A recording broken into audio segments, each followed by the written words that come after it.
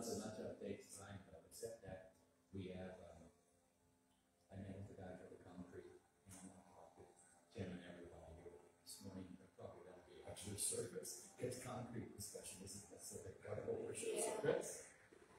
And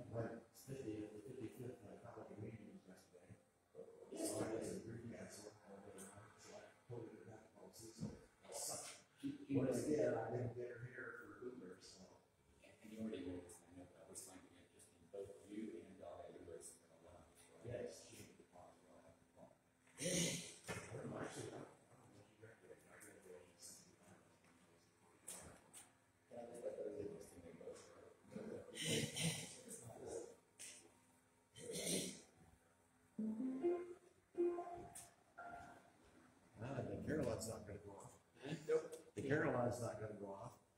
So whenever it's time, we'll start.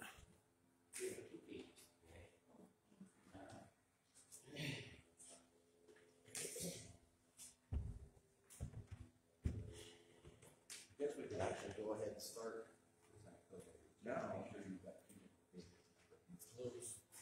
We're close.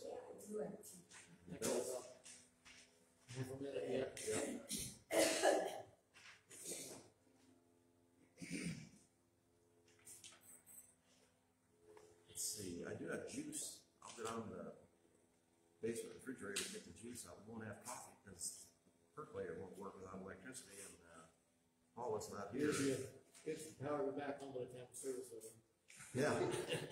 Well, let's hope it comes back on. Uh, otherwise, we aren't gonna have any slides either. Yeah. If that happens, uh, I'll probably just take this week's presentation and do it next week, because I was gonna talk about the rainbow pride month a little bit. Okay. And, uh, during Joyce and Parents, I'll tell you what I was gonna talk about there. And we'll just do the whole thing next week if it doesn't come up. Okay, welcome to First Universalist of New Madison on this dark day. It's nice outside. Uh, you can tell it's Sunday morning at time for church because the neighbor's mowing his yard. Thank you.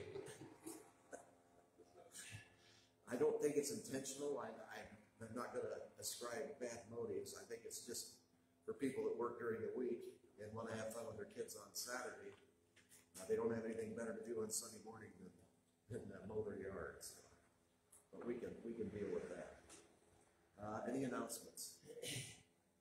Derek is here and we're gonna have a short meeting afterwards to discuss the future of the church. Uh, nothing critical. This is just, we're trying to do our long-range planning to get stuff figured out about, uh, what's gonna go on. Uh, Let's see, Dolly is on her worldwide trip. Cecil, been trying to get Cecil here and I'm I've got things arranged with uh, Uber, but I need to make sure Cecil wants to come before I send the Uber. And I was going out of town Saturday and I told her I would call her and then I didn't. So this is the third week in a row that I've forgotten to, or not been able to get that arranged. But We'll see what we can do there. Uh, any other announcements? Okay, our prelude, everything's gonna be Beatles today, which is really neat. So we're gonna hear yesterday first.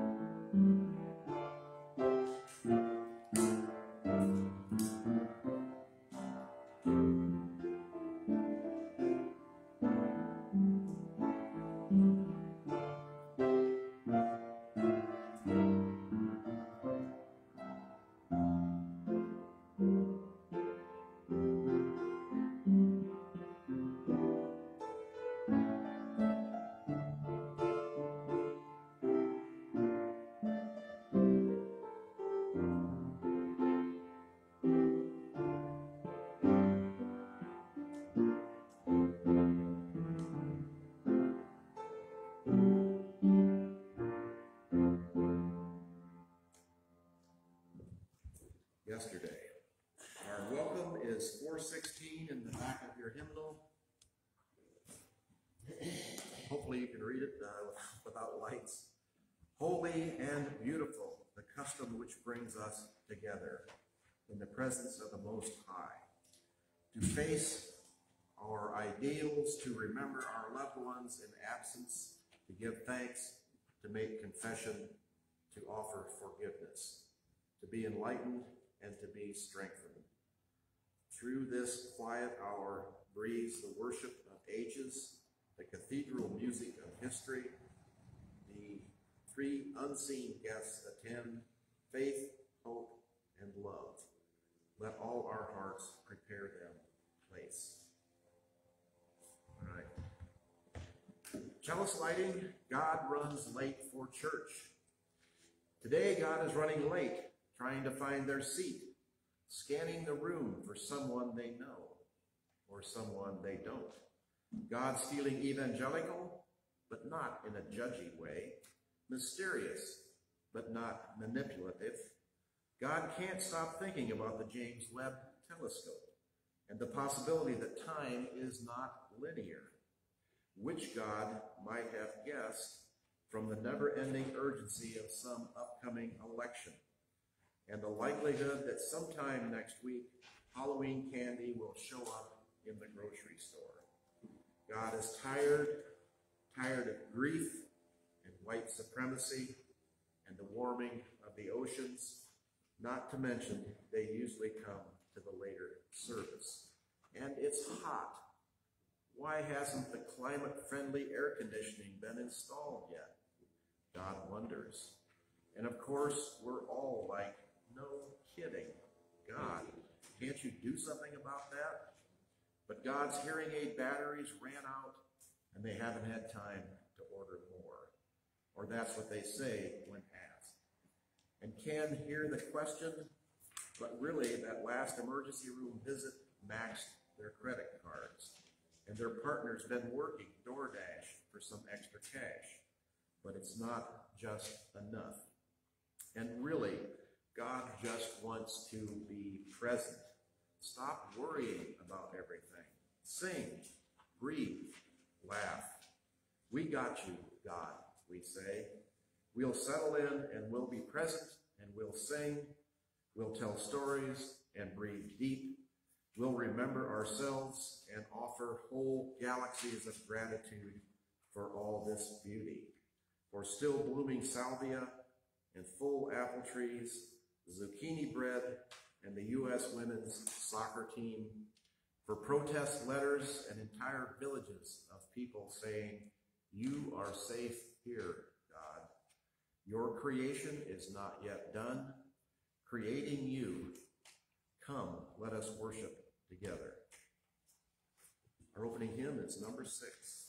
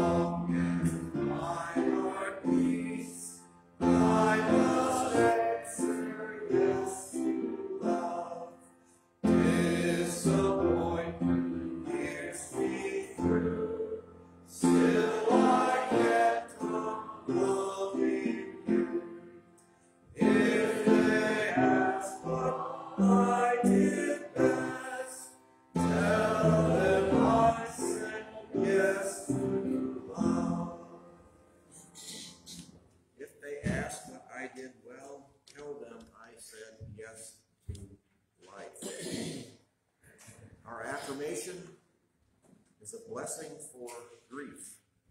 May you be tender and gentle with yourself and be cared for by those who will envelop you with compassion and presence.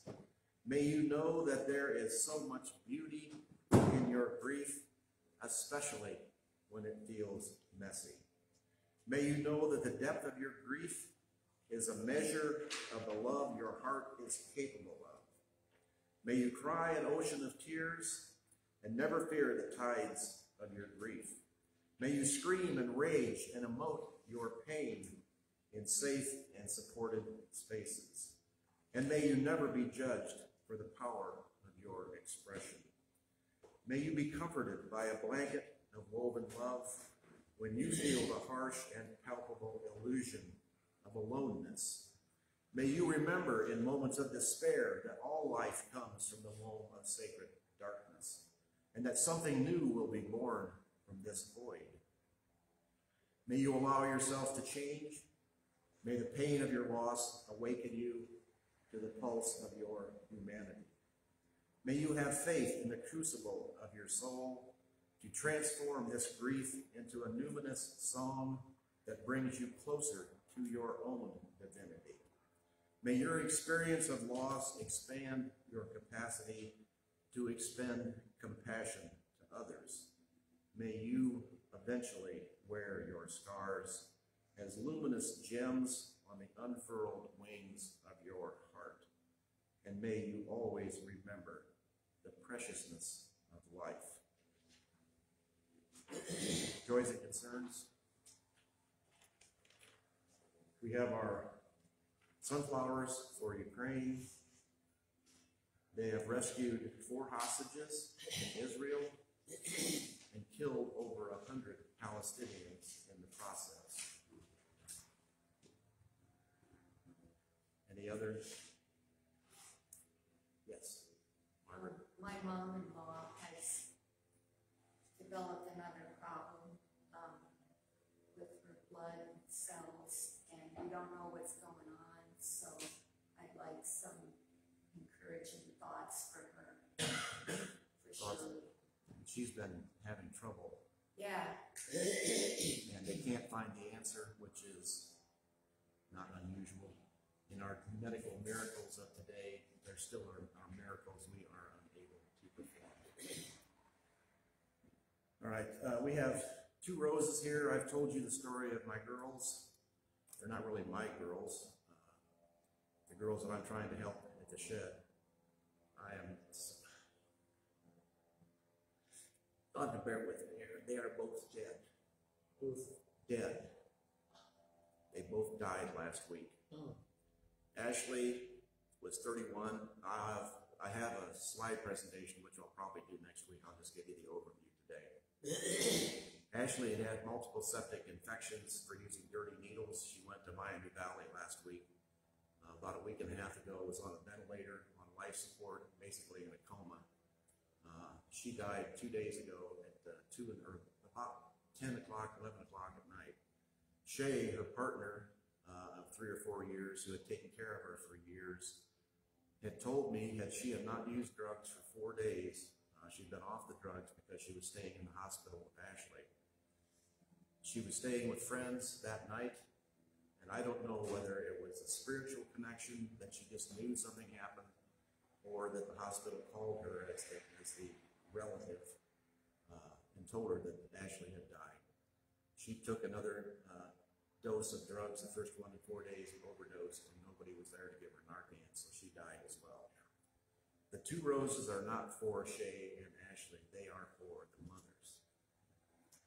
Both mothers have lost daughters. They've tried for 30, Shay was 30, 33 and Ashley was 31. These mothers have tried for years to save the lives of their daughters. Both mothers want to come out and go through the daughter's belongings and pick out uh, clothes, anything that's of value. They both want to make a, quilt or a blanket out of cut up pieces of their daughter's belongings. So that's what I'm going to do this afternoon if they're able to make it. Uh, I'll give you a bigger report in the future. Trying to deal with life and death. I tried everything I could think of. I threatened them, I tried to bribe them, I withheld, I would shut their electricity off if they wouldn't do work, if they wouldn't get up and, and do something. I did everything I could think of. I have failed. All right. So let's make a part joy out of that. And the joy is there are compassionate people in this world that still care. Yes, Thank you. it's kind of a humorous story. Shay had been arrested uh, for driving without a license and then not showing up at her court hearing, and then there was a warrant for her arrest. Uh, they found her, took her to jail. She didn't have drugs for two days. She went into seizures. They took her to Miami Valley Hospital. Uh, she told me that she was released on her own recognizance because the jail, Darke, uh, Darke County Jail, won't pay for hospital stays. It turns out she just ran out of the hospital without permission. But the kindness of strangers, somebody at the, she's wearing a hospital gown and hospital socks. Somebody at the bus stop gave her uh, some money to go into the dollar store and buy some clothes. Somebody else at the bus stop gave her a bus pass. She started out going the wrong direction toward Miamisburg. The bus, and she told the bus driver she was trying to go north toward Greenville, how as far as she could get. The bus driver left her her phone, gave her a phone to use. She called me and I gave her an Uber set up. So the bus driver turned her around, got her on the right bus, sent her up to Englewood where the last bus stop is. She got an Uber home to the, to the shed. People will help people all the way. But that's not enough. Okay, uh, children's story was going to be a thing on Rainbow. These two girls, I think I've told you before, they are they've been committed partners. They've been lesbians for years, uh, and I'll talk about that the next time. So uh, now it's time for our message from Derek. So at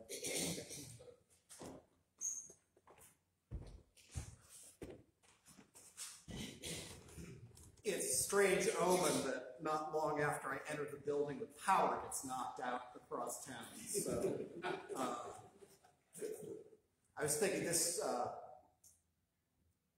this church is about the congregation is about 165 years old this year, uh, and we've been knocked backwards into 165 year old technology, which is a roof, some windows, a pulpit, and a voice that has to project um, in order to be heard.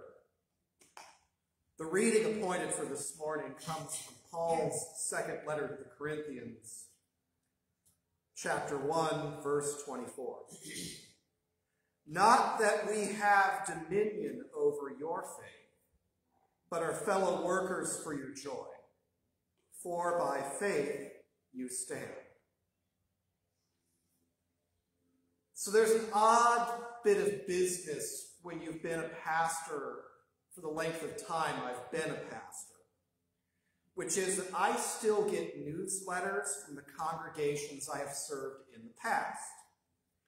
And this past week, I received the June newsletter from two of them.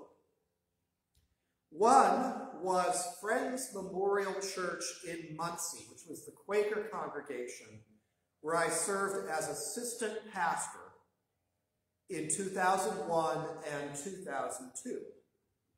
It was actually the first congregation I served in the capacity as a pastor. I'd been in other ministries before that, particularly campus ministry type things, but it was my first pastorate. So they have a special place in my heart.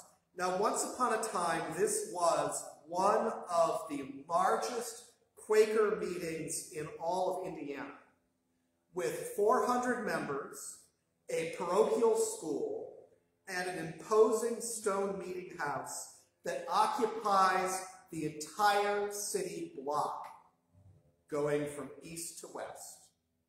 The other half of the block is actually a parking lot for the church.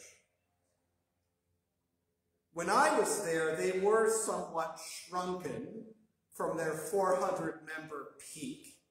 153 adults when I was there, and the parochial school had been downsized to a half day preschool, just the preschool. Well, now the preschool is closed, and the congregation is reduced to about 50 people rattling around inside a monumental downtown building. And the congregation has voted to put their building up for sale in hopes of moving to a smaller church building that they have yet to identify.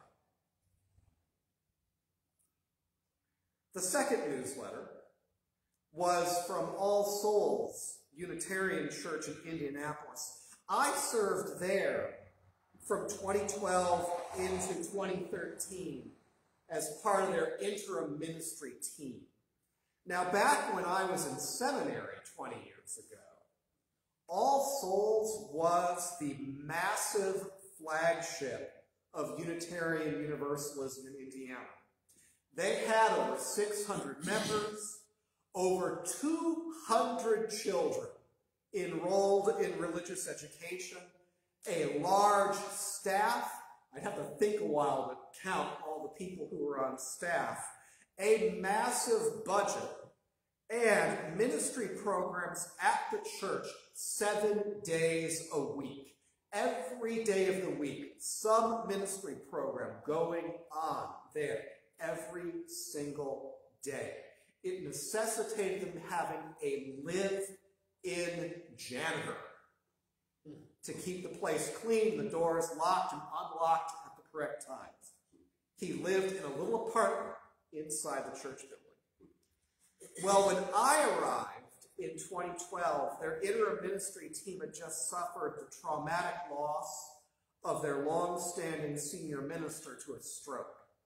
He had been there 15 years. Many people did not know a minister other than this guy. And with his abrupt loss, a series of conflicts began to roll out that split the congregation. So 10 years ago, the trauma and conflict had reduced them to 300 adults and 50 children.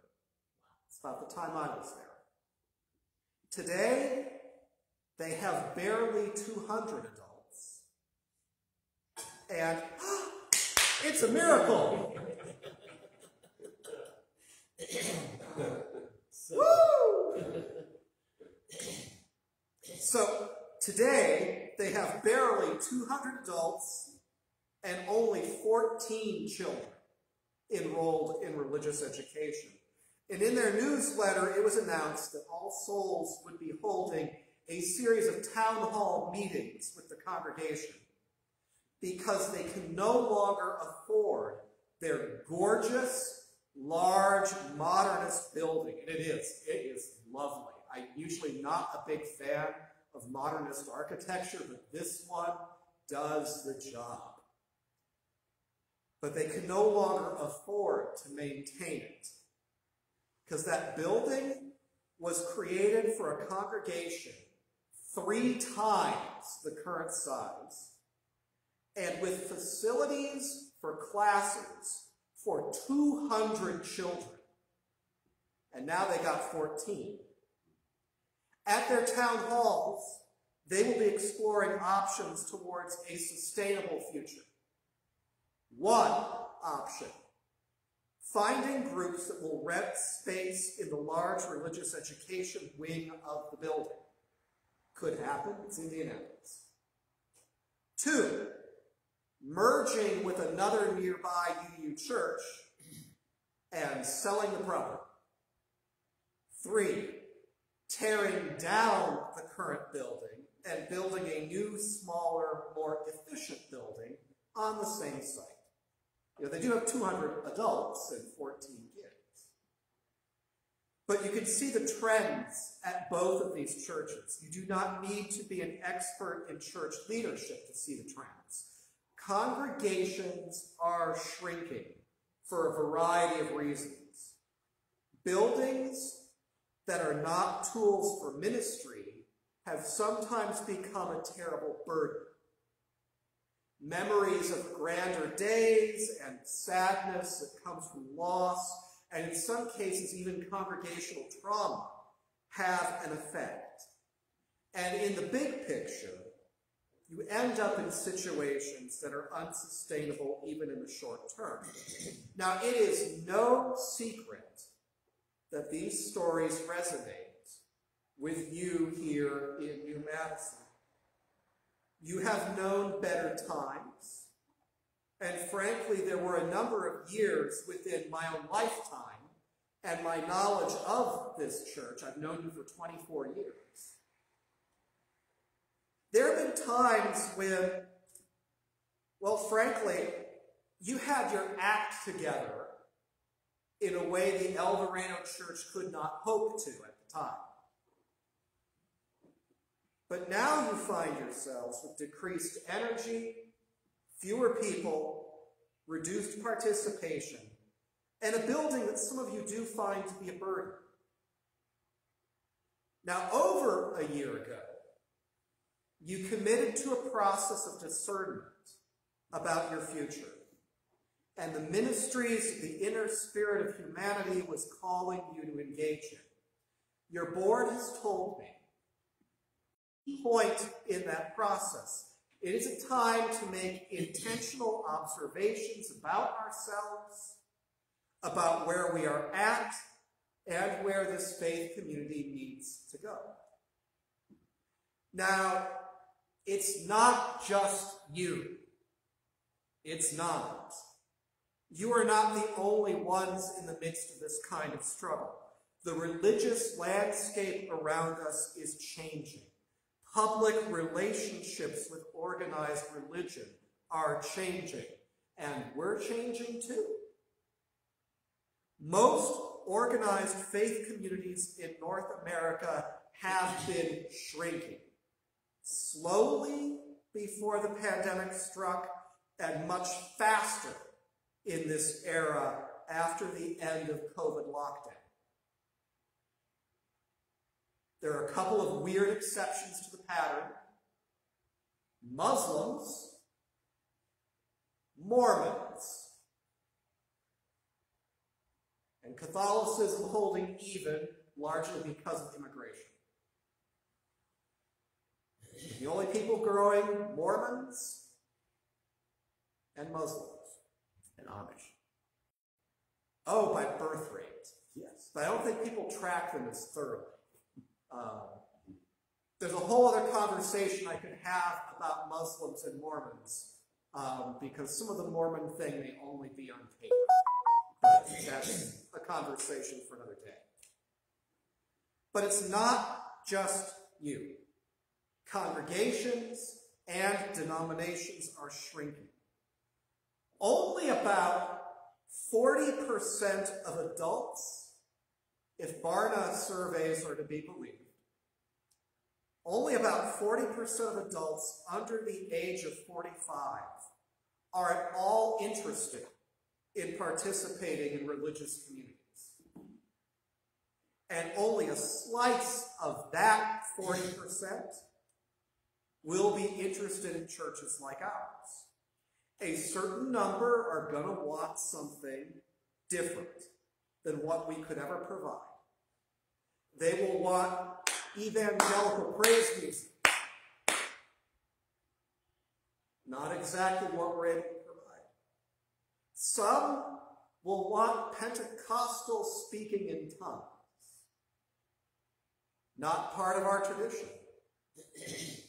Others will want a deep, deep practice of Buddhist meditation. Frankly, the Buddhists do it better than we do. And others will want a rigorous commitment to Wiccan ritual and nothing but Wiccan ritual. And that's a little too constraining for a church like ours. Because we cannot be all things to all people, we need to come to terms with the reality that we are relevant to a portion of the pie, but the pie is shrinking. But that is also true for almost everybody. Even the mighty juggernaut of the Southern Baptist Convention is now struggling under these dynamics. Over the past 10 years, the Southern Baptist Convention has lost almost 3 million members. And we cannot blame all 3 million of those people on the churches they booted out for having female pastors.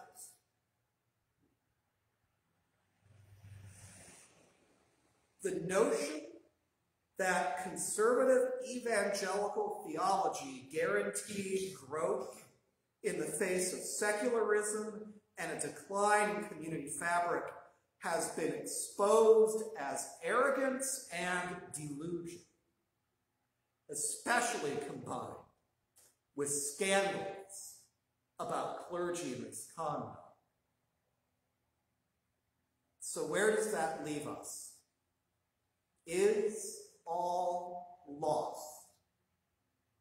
Are we doomed to a world of inevitable decline and extinction? As many around us decide that religious community is the answer to a question they just don't see the point in even asking. Let me repeat that again. In the context of a time where a growing number of people see religious community as the answer to a question that they see no point in asking.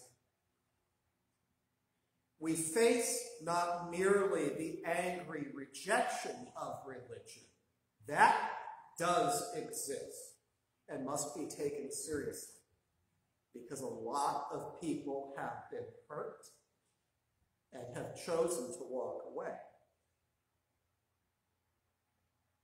But that group of people who aren't particularly angry, who aren't particularly hurt, they are something much harder to deal with. They are indifferent, utterly and thoroughly indifferent to religion in about every. So, barring a major shift in the spiritual sensibility of our culture, those things do happen every now and then. It has to wait a few decades for them to happen, but they sometimes happen. But things aren't likely to change anytime very soon. So again, is everything lost? Now, I don't think so. Religious yearnings remain inside people say they are not religious. And those yearnings find ways to be expressed. Now, some will decide that they do need a community of persons in which to live out those expressions. Not everyone will, but some will. And even in secularized, heavily secularized Europe, churches like ours persist. And this is one place to look for, for hope. They exist in places like Ireland, the United Kingdom, the Netherlands, Germany, Denmark, Norway, the Czech Republic, Hungary, and Romania. All of those have Unitarian or Unitarian Universalist churches of some kind. Universalists, not so much. You have to go to Asia for that Japan and the Philippines. And I will tell you that the churches in those countries that are thriving, they have learned how to thrive on the strengths of being small. Because small churches can do powerful things. They can build deep in-person community. They can build spiritual intimacy where people feel deeply understood. That's a valuable thing in our culture. They are also places where ethical lives can be deliberately and mutually nurtured and cultivated within the bonds of dedicated friendships, embodied in things like covenant. I think this is much of the future of religious life in North America. We're not the wheat that makes up the loaf of bread, but we're more like the small amount of leaven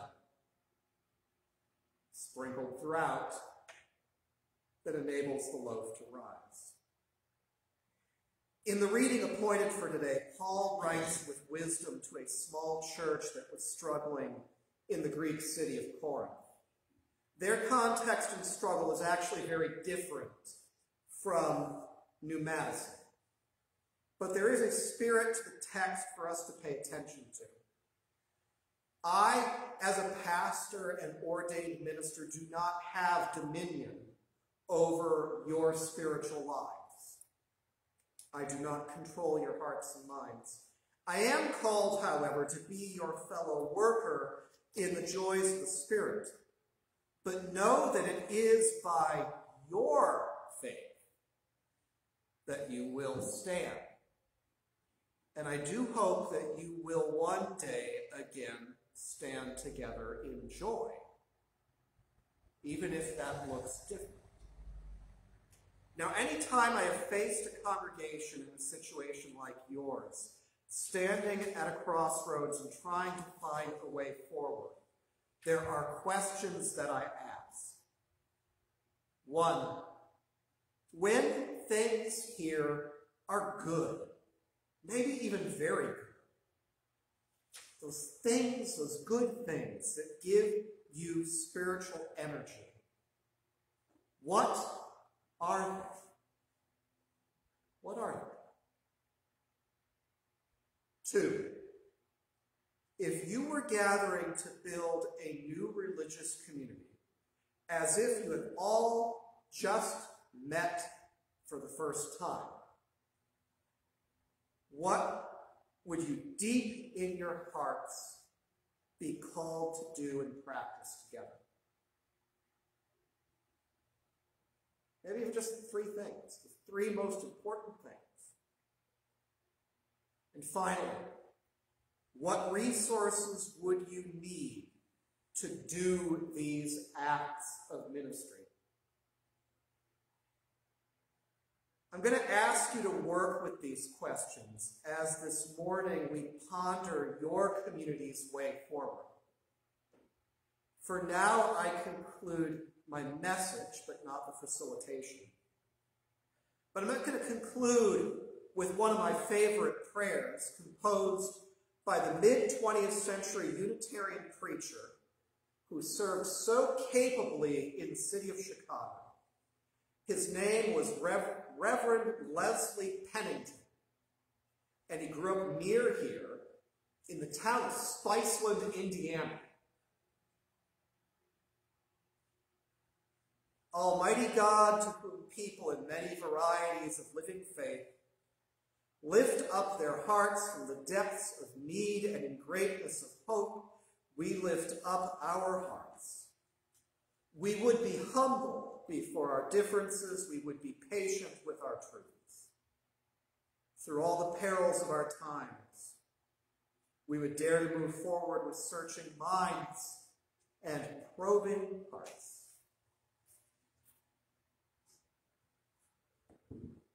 I'm tempted to get down from the pulpit, but I'm not sure I want to leave the camera blank. Uh,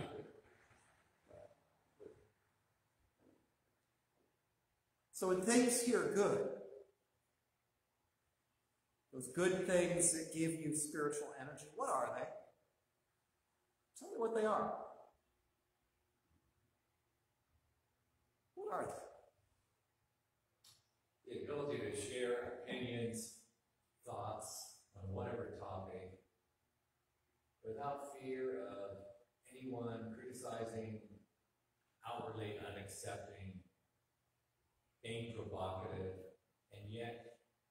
sharing people that are listening, and often sharing some of their very own in a really true, honest way. Uh, no matter what, what your background is, what your gender is, I've enjoyed that very much. True, true, true. There are a limited number of churches. I'm not going to say we're precious and unique, where you can ask the really tough questions about life, about religion, about the world. And dig around trying to find an answer with other people who are dedicated to the same process.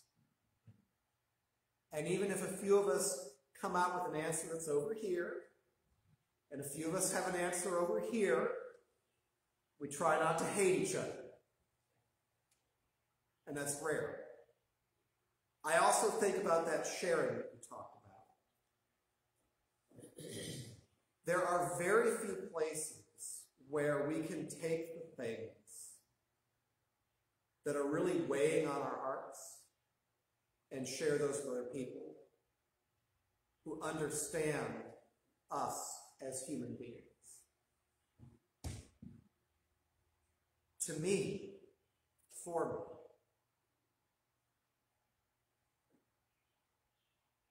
the deaths of those two women that you were helping, Tim, feel so much more profound. Hearing about it in this room from you, knowing you, as opposed to I just glance at it on a web page somewhere. Their lives and their struggle and the loss is so much more real. And I hope that helps you so that you don't feel alone in this loss. That is exactly the affinity I have for this church, is the people are accepting, we are accepting of others, and they are accepting of my trials and tribulations and my attempt to find answers. Maybe there are no answers, but we all share that goal of wanting there to be answers. Uh, And the questions are unending. My current question on what you just brought up, the share of religious affiliation in the United States is shrinking, but the strength and the power of the religiously affiliated is growing and growing. The Supreme Court is doing things that are, were unmentionable 20 years ago. Oh, yes, yes. This gets into a message that is cooking somewhere on my back burner, but um, because it's interesting how a smallish group of people can steer the ship. Um, the proportion of people who, well, yeah.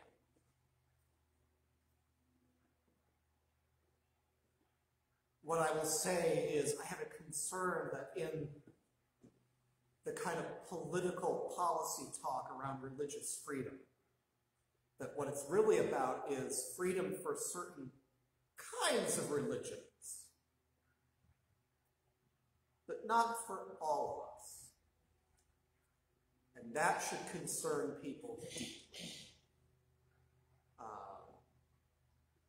and probably does not bode well for a harmonious culture, given that, depending on how you slice the math, um,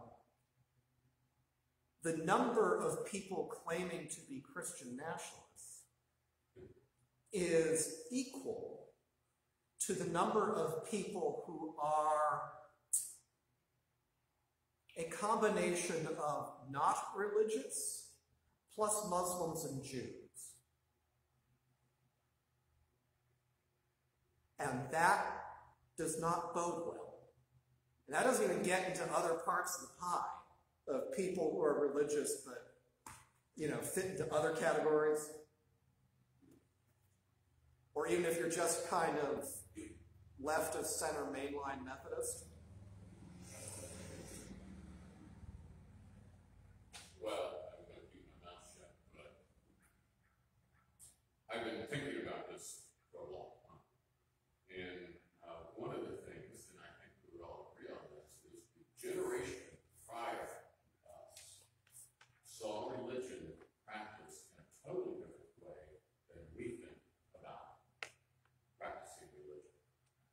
Here's the difference, in my opinion.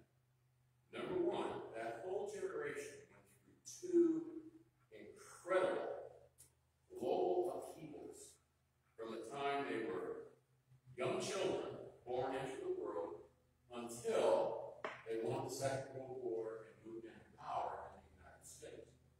And there's one lesson, I mean, I never was preached, but I watched it happen. And I still see it among veterans today. What they learned from both the Depression and from the war is you have to have somebody constantly watching your back that you can trust. And that is in a group. You have a group of people. Well, what was the name of that uh, uh, TV commercial? Band of Brothers. Okay? Illustrates that perfectly. However, today, talk to there are people in our generation, okay, but most likely our children and our grandchildren. And what you'll find is the focus is not on the group. The focus is not having somebody that's constantly at your back and participating in. it. The focus is becoming number one. And that's a fact. Okay, and I work with college students, and when you start talking to them, none of them, like very few of them, talk about becoming a member of a group that's going to actually do something. They want to, but they all want to be the star. Okay, when you're coming down to it. And that's the thing, I was just sitting here. Or they want very short-term commitment. Exactly. Um, and that is why a bunch of organizations, part of what American society has thrived on is voluntary associations. And that's why when I for example, one day to the guy who runs the American Legion Post in New Paris, he struggles with things very similar to what our churches struggle. With. He told me, I have people all the time who say, oh, thank you for, you know, helping out the vets. And he'd say, can you spare like one weekend to help our group clean up grave sites the cemetery? Oh, no, I don't have time to do that, but I'm glad you can do it. Or the solution is we reach into the pocket, pull out a fifty dollar bill, but this will take care of it. Well, I don't think he's even getting that. Well, he probably has a five dollar bill, but that's beside. But, but it, you know, it's similar things for other civic organizations, fraternities and sororities, service organizations. They have all seen a decline in participation and membership. I was thinking on this that we're doing because uh, you, the uh, All Souls in Indianapolis was the church when I was really a teenager, and LRY and the rest of it. That was the organization that I was attached to. And one of the things that I saw at that time at All Souls was that they had attached themselves very much to the civil rights movement. Okay, so it was a very popular movement, as you may recall at that time. I mean, there was a division in it, of course, north and south, and that kind of thing. Well, and, and there actually was, it happened in two phases there. Because knowing the history, having worked there, um, in the 50s, that congregation schismed over the issue of interracial marriage. And then later they had a minister who was in the 60s, who was from the South and a former newspaper journalist, um, who changed the direction of the congregation. Um, but it's a really tricky business. They also were very fortunate to have their building plunked down on an end in Indianapolis that grew very rapidly at the time. Um, you know, it, it is easier to grow a congregation when you've got a huge influx of human beings. Um, but but there, the work during the civil in the 60s did give them a shared sense of purpose, especially after the wounding that took place in the 50s around interracial marriage, which was illegal in the state of Indiana. It was the last Midwestern state to remove that law prior to the Loving versus Virginia decision. Um, let me continue with the questions because they're here for a reason. If you were gathering to build a new religious community, like you're starting from scratch, what deeply would be the three things you want to do together? And I know this is a little bit of individual trying to figure out what the group wants. Which question? If you are starting from scratch, y'all got together some meetup thing online, you all end up at the coffee shop, and you're like, we're going to start something here in Darke County or somewhere nearby. What are we going to do? What are the three most important things for us as a faith community, a spiritual community to do together? First is to set up a Zoom, find somebody that knows how to do Zoom and. What we want people. to do. You're, you're focusing on the means of getting something No, I'm done. not, you have, people have to know how to, not the actual doing the Zoom. People have to know how to do the Zoom. In other words, that's the, that's the way people I'm going to challenge you. Zoom is a tool. Yes. It is a means. It is not the end. Do you want to pray together, meditate together, study together, talk about um, religious ideas? Do you want to engage in service projects together? Do not mistake the tools for the end. The building is a tool. Zoom is a tool. Facebook is a tool. The piano is a tool. The question is, what do you want to do? Then you assemble the tools to get that done. Normally, I wouldn't challenge you like that, but in this circumstance, I'm going to. Zoom can be a powerful tool, but it's useless if you don't know what you want to use it for.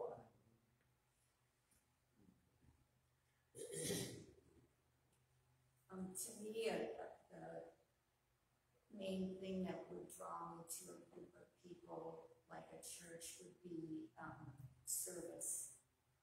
That to me is the most important thing. Service. You want a group of people that you can engage in service together. One idea here floating around.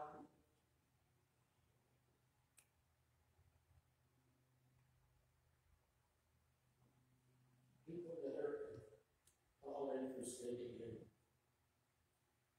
building their own theology and, um, discussion amongst that group that you're talking about putting together about, um, what is good, what is good theology, and what is bad theology, et cetera, et cetera.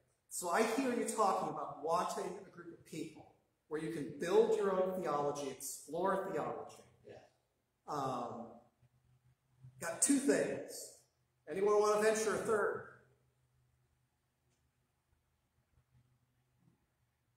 Very broad.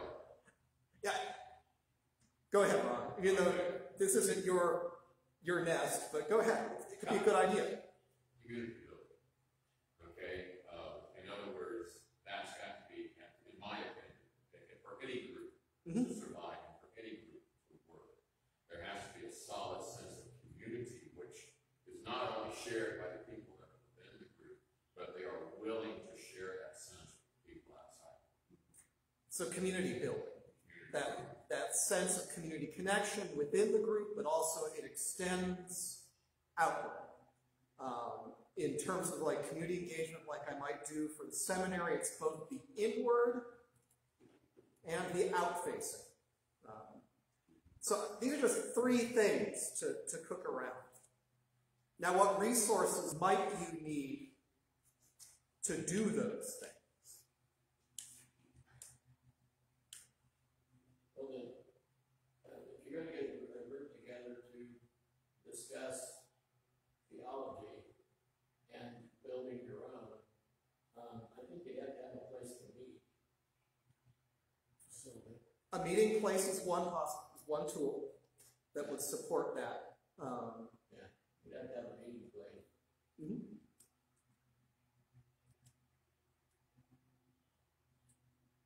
you may not have all the answers today. You don't need to have all.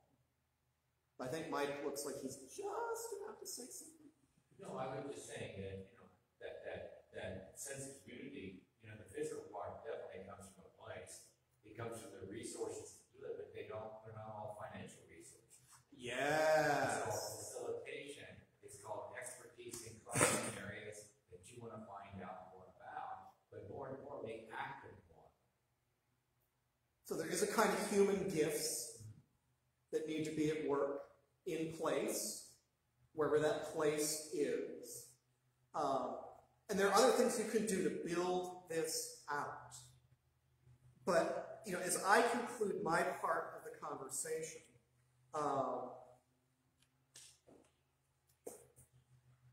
and there may be additional conversation we want to have afterwards, um, depending on what the board wants to do this morning.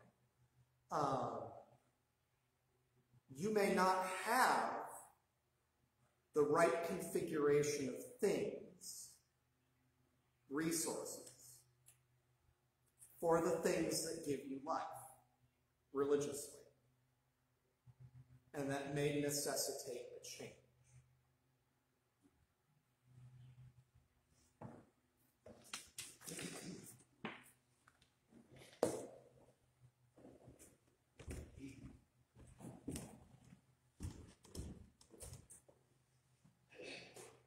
Okay, provocative, thought producing, thought inspiring. Let's see if we can. can bring this up. We'll go ahead and. Because a lot of this stuff is time sensitive.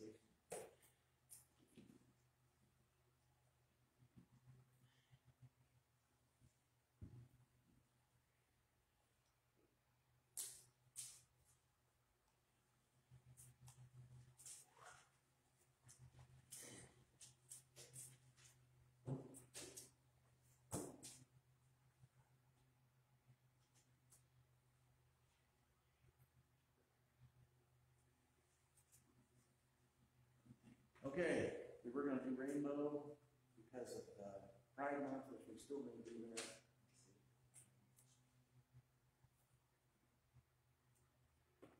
I want to give just a brief overview. And I may do this again. I appreciate your letting me process this. This is Ashley Clark and Shalonda Clark, thirty-one and thirty-three. They both had the same last name, and they were married in spirit. They were never married officially which I tried to talk to her about the hospital. If the parents, either parents with uh, Ashley's parents were not real happy with the arrangement, if anybody had questioned that, she would not be able to produce a marriage license. She would have no control over what happened to Ashley. I said if they get to the place where they either pull the plug or send her to a nursing home, the person who has the power of attorney, the medical durable power of attorney, is the one who is in charge. And the hospital just accepted because they had the same last name, because it, as a coincidence, both of their family, uh, who are not related, their last name was Clark. So the hospital didn't question that, but if either one of the parents had said anything, there would have been a problem. So she had lots of problems anyway. So Ashley was the one that was in the coma. Shalonda was the one that was trying to take care of her while trying to dodge the deputies to stay out of jail. The last day I saw Shay, I had to take a picture of her. I said, what happened? I don't know where she was, whether at a drug dealer's house or whatever. Big cut on her eyelid, big bruise over here, and a big bruise. Somebody beat her up. And she wouldn't really tell me about it. So we're gonna talk a little bit probably next week about what life is like for, and they are homeless. That's the reason they ended up with me, is they had no place to live. So I said, you can stay in my garden shed. No electricity, I mean, no plumbing, no water, no, no sewer but you can get water from the house and you've got electricity. And I thought, nobody can do that more than a week. They were there for like six months, and I kept trying to get rid of them, trying to find them a place to live. So, we'll go into this later, uh, because I still, I'm still processing. I, I don't know why. I guess because I saw them every day and tried. This was for Derek. the state of American religion. An abandoned country church and hopefully that's not our future. All right, uh, offering. If you have something to share, please do. Uh, and even though fish and the shares that we make with the community are abused, we still need to do that for the sake of our souls, not just for the sake of the people we're giving to. Another Beatles tune, All My Loving.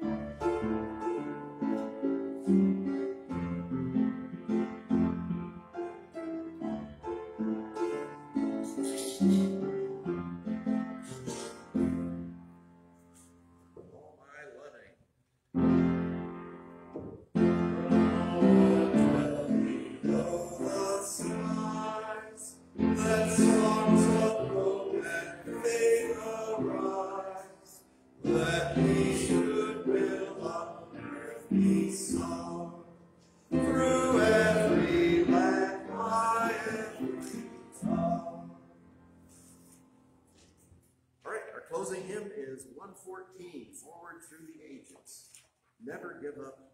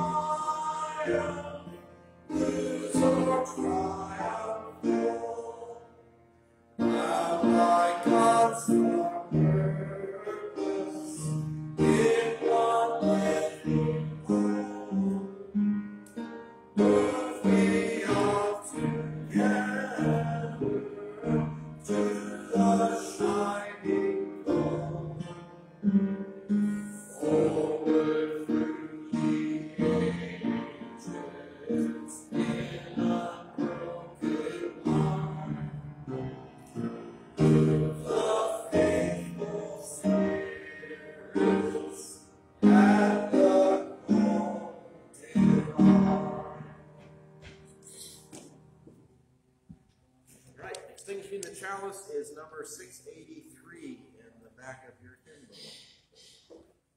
Be ours a religion which like sunshine goes everywhere. Its temple, all space. Its shrine, the good heart. Its creed, all truth. Its ritual, works of love. Its profession of faith, divine living. Our final slide is between the years, which I just can't stop doing. Malabar Farm. I encourage anybody, if you have not been to the state park at Malabar Farm, it is a, a most amazing place.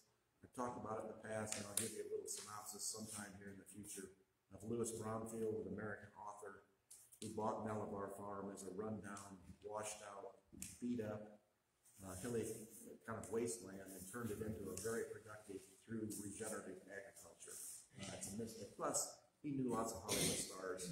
Uh, uh, McCall, Lauren Bacall and, Humphrey Bogart. and Humphrey Bogart got married in this little tiny house. It is tiny by their, their, their uh, Hollywood fashions uh, back in the 40s. So uh, go to see Malabar Farm. Our postlude is Michelle. Once again, the Beatles.